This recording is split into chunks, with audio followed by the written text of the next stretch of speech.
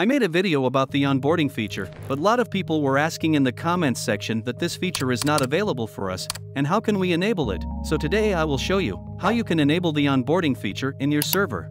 But before that, let's talk about why this feature is not available for a lot of users. Recently Discord has announced that this feature should be available for all community servers as of March 30th, and it doesn't matter whether they have 0 or a million members in their server, however, if you don't have this feature yet, it could be because of your Discord version, and also note that if you're using Discord on a mobile device or iOS, you won't be able to access this feature as it is only available for desktop users.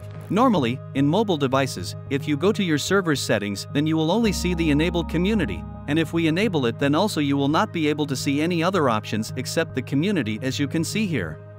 To get access to this feature on mobile or iOS, simply open the Chrome app. You can use Safari if you're on iOS, now search for Discord and then log in with your Discord account.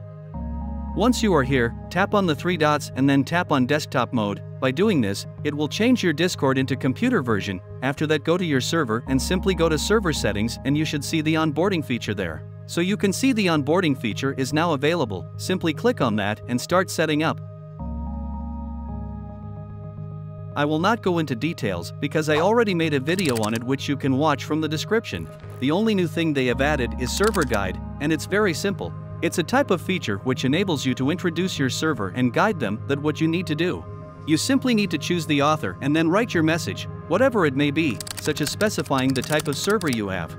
The next thing is, after joining your server, the subsequent steps for your member would be to take on, like self-assigned roles, engage in community chat, familiarize themselves with the rules, and more.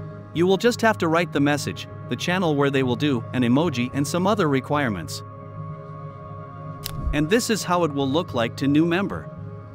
Alright, so this is the end of the video, if this video helped you then make sure to like the video, thanks for watching and peace out.